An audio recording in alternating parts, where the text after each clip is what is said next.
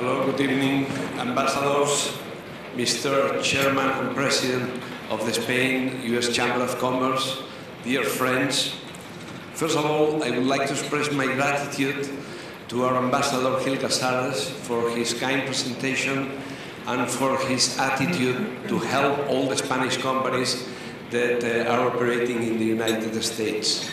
Also, I would like to thank uh, the chairman of uh, the Spain-US Chamber of Commerce, uh, Ambassador Solomon, for his magnificent work and for the honor of awarding to Repsol and myself uh, this recognition tonight. No? And finally, thanks to all of you for being with, with us tonight.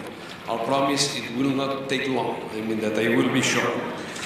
Uh, in, in 2006, uh, we were, there were only 40 of us in Houston, something like that. No? Today, we are more than 700 people. Houston has become the second headquarters of Repsol, and, we're, and we are very proud of that, having more than 20 nationalities working there, a lot of cultures, a lot of languages, a lot of opinions, etc., etc., that makes Repsol a global and a truly global company. No?